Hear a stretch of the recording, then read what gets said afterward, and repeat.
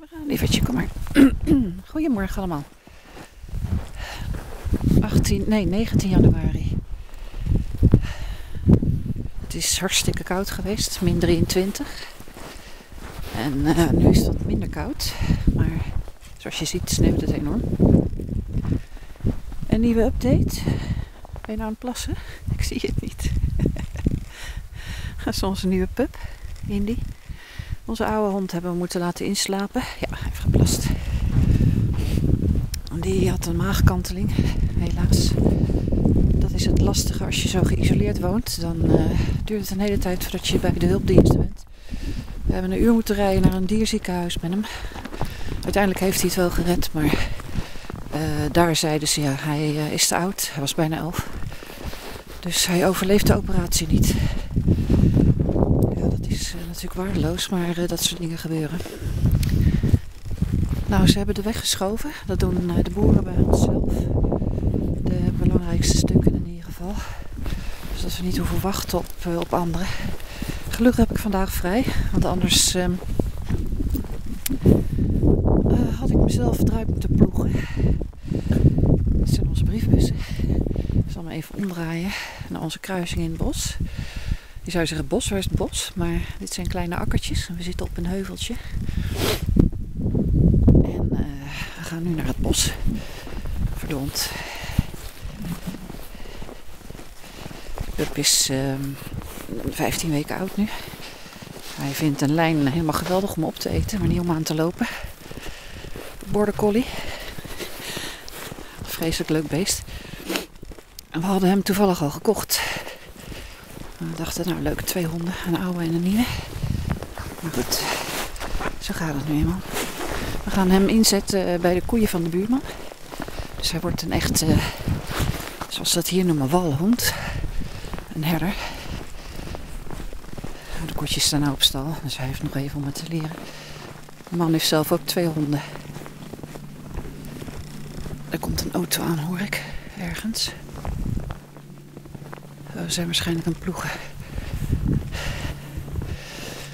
In ieder geval, um, dit is bij ons een normale winter. Uh, we zitten niet eens heel erg noordelijk in Zweden. We zitten in uh, Småland, onder Stockholm nog. En dit kan gerust een paar maanden aanhouden. Nou, we merken nu dat we door onze houtvoorraad heen schieten. We hebben twee, twee houtkachels. Eén in de keuken, een hele grote, die het huis verwarmt. Maar dan moeten we kiezen. We moeten de pomp aan of uitzetten. Als we de pomp aan hebben, dan verwarmt hij het huis. Want dan gaat het door de radiatoren heen. De warmte. Zetten we hem uit, dan hebben we warm water. dus uh, zomers hebben we er niet zoveel last van. Maar winters uh, wil je toch het huis ook warm hebben. Nou, de tweede is de kachel die we van de zomer hebben laten plaatsen in de woonkamer. Een houtkacheltje. En die, er komt een auto aan. Even opzij. Dat is onze oude buurman Manne. Die kan niet meer lopen, maar die doet alles met de auto, die man. Is ruim in de 80.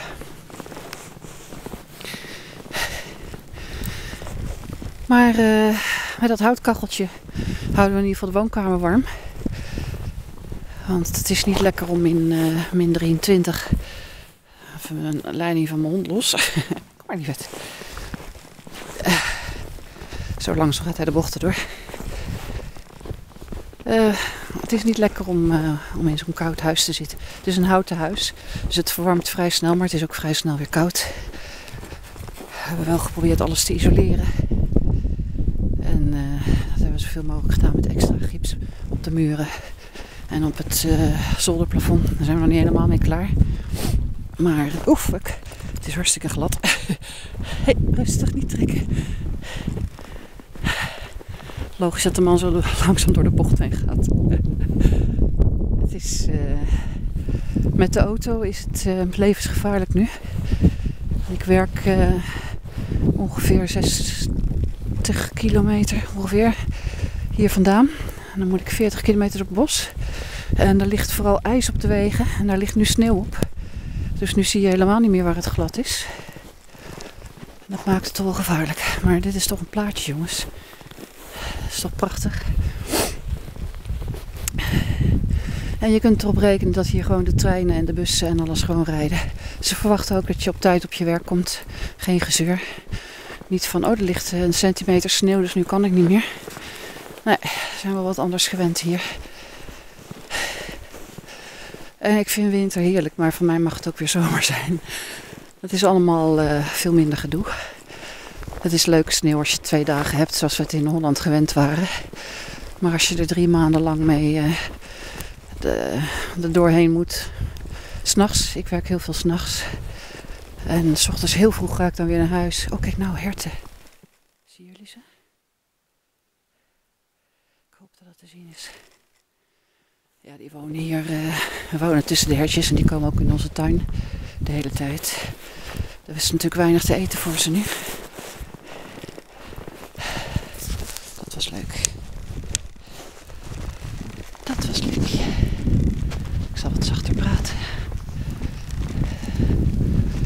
Dat hier ook van de zwijnen en uh, andere gespuis. Het is natuurlijk leuk om dat te filmen. Ik zal nog een rondje maken. Ik loop hier op een gruisweg. Die leidt naar uh, ja, een andere kleine nederzetting. Pokhentweg nog, dus daar ga ik niet lopen. Maar ik ga wel straks mijn oude houtzagerij het bos in, zodat die hond even los kan.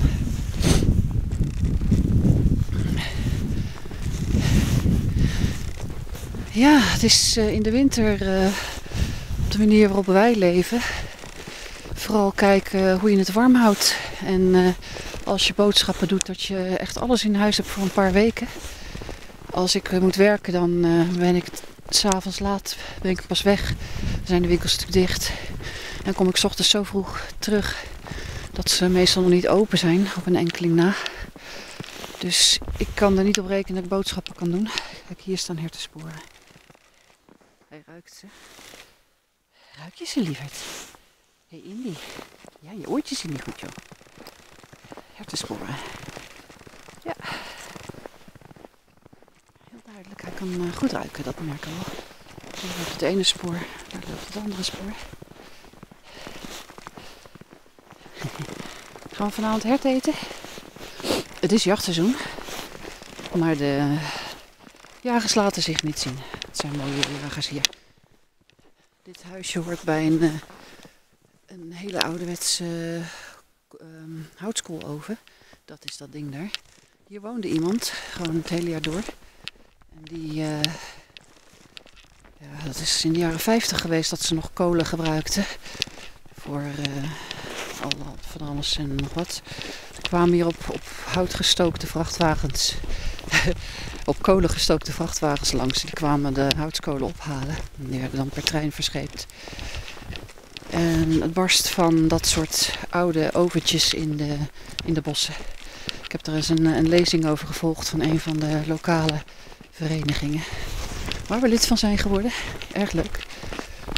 Het uh, grijze harengehalte is wel erg hoog, maar de meeste jonge mensen zijn dan ook hier weggetrokken. Die vinden het allemaal niks. Nou ja, wij gekke Hollanders uh, zijn precies andersom. We vinden het hier heerlijk. Daar, die schuur staat leeg, waar die hoort. Bij uh, de zaagmolen waar we nu naartoe gaan. Even kijken of ik met één hand die hond los kan koppelen.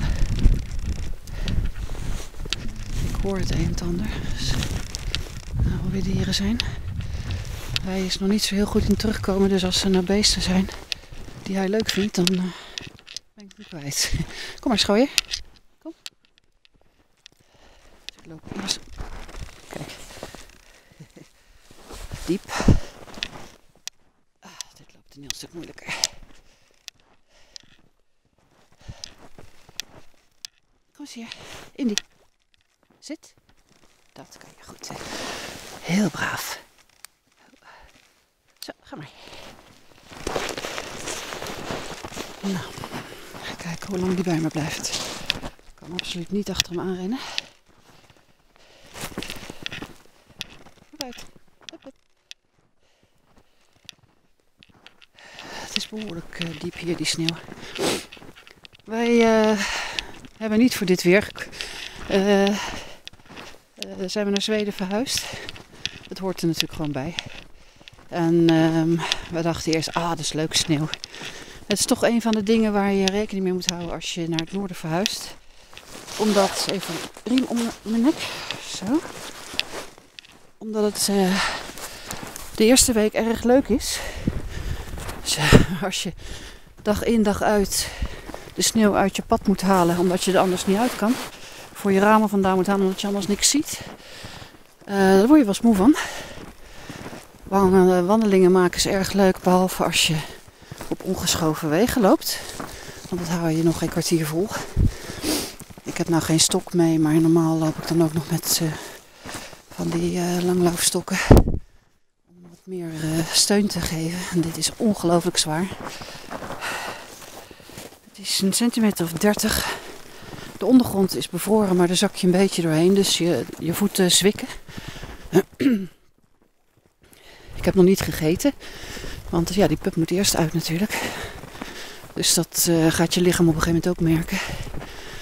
Allemaal dingen waar je rekening mee moet houden als je denkt: oh gaaf, ik ga ook in het noorden wonen. En zo hoog mogelijk. Want er is het lekker rustig. Dan kan het zijn dat je zeker een half jaar sneeuw hebt. Uh, ik heb contact met mensen die in Noord-Zweden wonen.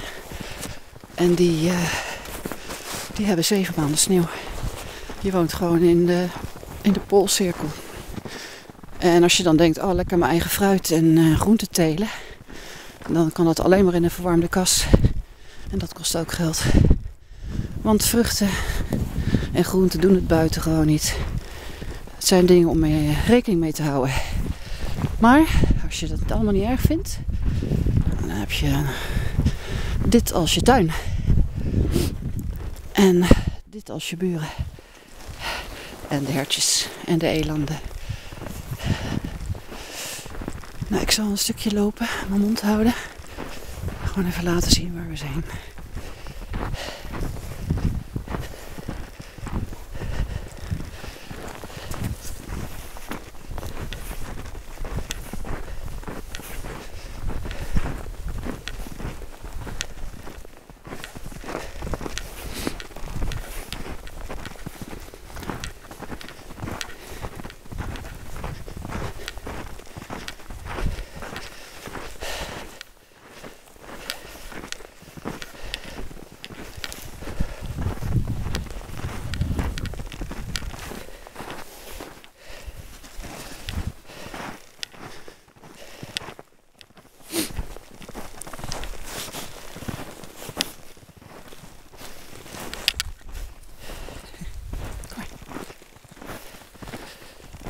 Oude zagerij. Al jaren niet meer in gebruik. De grond is opgekocht door iemand die hier niet woont, maar die gebruikt het alleen voor de bomen. Bomen brengen aardig wat op. 300 euro per schoongemaakte boom in stukken. Dus als je de 10 hebt, heb je al 3000 euro. Nou, zo verdienen die lui wat geld hier. En op bos uh, staat geen belasting. Dus als je boseigenaar bent, betaal je niks. Behalve als er gebouwtjes op staan. Maar dan ook nog zo weinig dat het de moeite niet is om ze weg te halen. Zoals bij deze eigenaar die gewoon die oude zagerij laat staan. Met bijgebouwen. Sorry voor het heen en weer geschok, maar ik ga alle kanten op.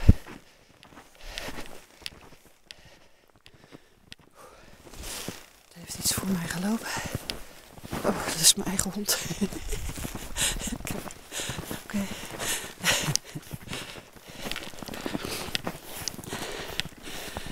Is niet moe te krijgen, die hond. Dan ligt hij even een kwartiertje voor de kachel en dan begint hij. Uiteraard. Onze oude hond uh, is bijna elf. Dus het was bijna elf jaar geleden dat we een pup hadden. Maar wel leuk. Hey, wat ruik je allemaal, lieverd? Beestjes. Overal beestjes. Er komen hier ook wel wolven en beren voor, maar dan zijn ze verdwaald. Maar er is wel een wolf gesignaleerd. Een tijdje terug hier. Vlakbij. Beer is hier een heel stuk zuidelijker nog een paar jaar geleden geschoten. Want die, uh, dat vinden ze dan ineens nodig, dat zo'n beest geschoten moet worden. En die is dan opgezet. Dat is dan zo bijzonder. Dat ze er trots op zijn dat ze zomaar een beer hebben gehad in de omgeving. Ja, Zo'n dier zal niks doen. Aan de andere kant, een verdwaalde beer is wanhopiger op zoek naar voer dan uh, uh, een beer die in zijn eigen omgeving woont. Meer met de wolf is dat eigenlijk. De wolf jaagt natuurlijk in een uh, groep. Oh, elke ademhaling is zo scherp in mijn neus dat het lijkt alsof ik scheermesjes naar binnen haal. Kost een neiging om te niezen. Kijk, hij is nog achter me. Maar nog niet zoveel opgeschoten, zoals jullie zien. Maar, uh, nou ja, dit is uh, wintertijd. Als je mijn filmpjes uh, bekijkt, dan ja, zie je ze van zo'n beetje elk seizoen. Winter is, dit is erg leuk om te filmen, maar het is altijd zo moeilijk om een te lopen als het zo hoog ligt. En het is voorlopig nog niet uitgesneeuwd. Dat ik daar niet zoveel filmpjes van heb. Wel foto's, maar die staan op mijn Facebook kanaal. Mocht je daar naar willen uh, kijken. Hij is openbaar. Ik heet Lineke in Sweden. Dus uh, zoek het op. Meld je aan. Ik accepteer eigenlijk altijd iedereen. Want uh, ik vind het gewoon erg leuk om contact te hebben met allerlei mensen. En hun verhalen te horen.